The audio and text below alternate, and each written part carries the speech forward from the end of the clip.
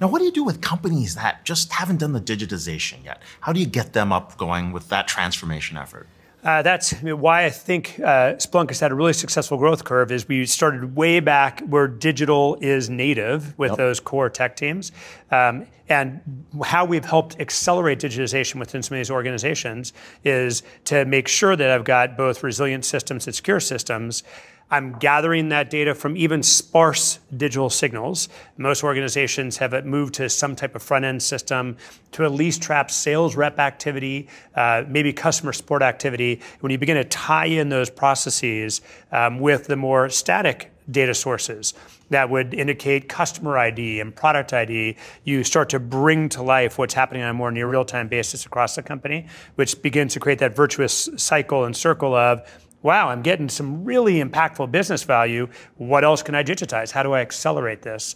Um, and, we're, seeing that happen at really rapid scale across traditional organizations, and then, of course, the next gen online organization um, we are really ideally suited for. You know, that's a great point, right? As companies digitize, what they're doing is they're building digital feedback loops.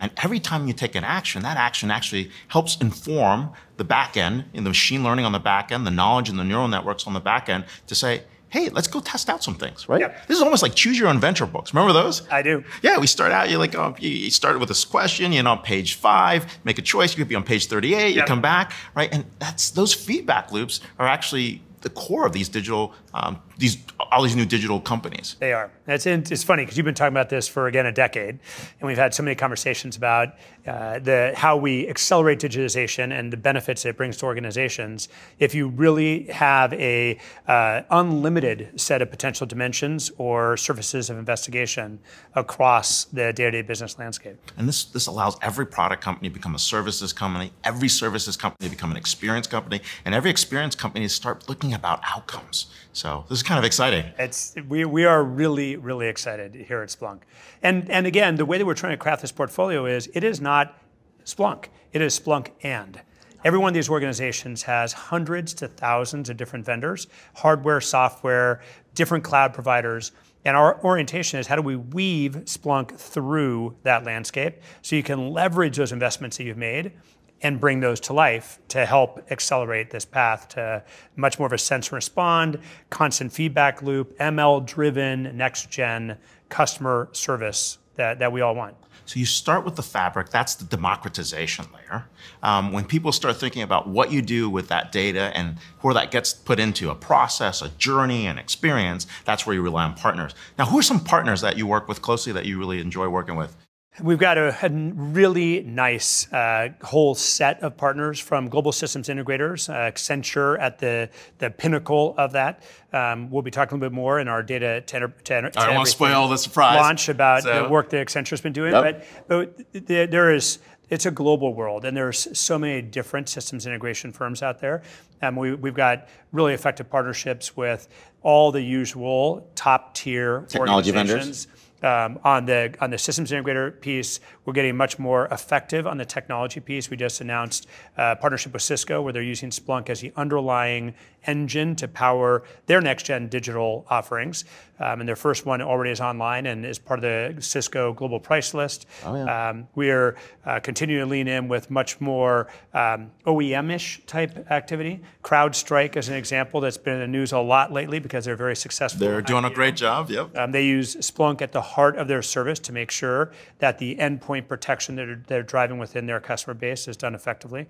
Um, so there's no way that we will be effective both in our core markets, much less the more line of business centric markets, without a strong ecosystem of people that are leaning in and, and in understanding and embracing that data to everything message. So you're basically the Switzerland of data is where you're trying to go. That is absolutely, we have been so far, and we want to continue to, to, to, be that Switzerland of data. That data that makes sense to go through our index, which is much more that non-schematized investigative store, absolutely we want everyone to put data in there and we're doing a lot with pricing to make that an easy answer for organizations going forward but every data repository is built for a different use case and when we thought through our portfolio from bringing high value to streaming data data in motion all the way through to attacking data in multiple different data stores our orientation was to work with what the, what different organizations are using within the landscape, and not to try and make it a you must use these Splunk components.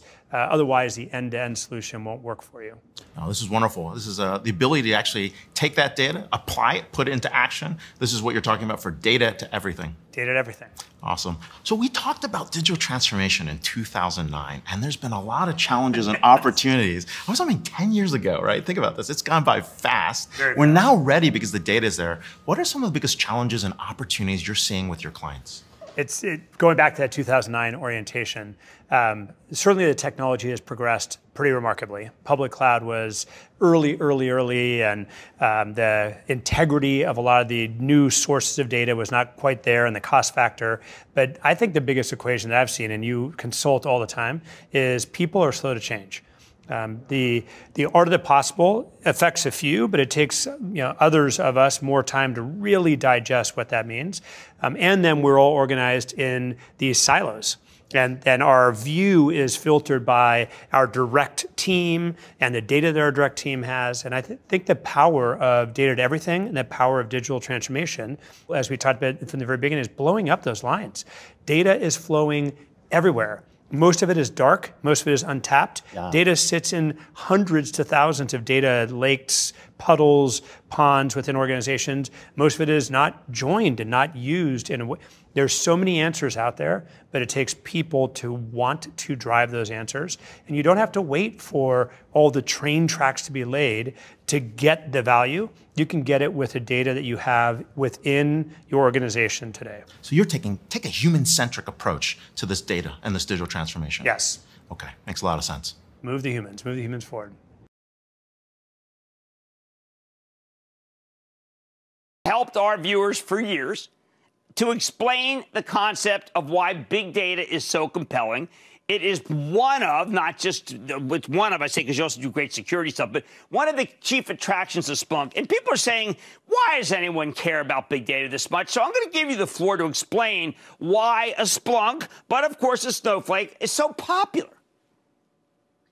It's uh yeah, as you called out so early, Jim, on these cloud kings. I think you probably got the opportunity to talk about the data or big data kings coming uh, up as well.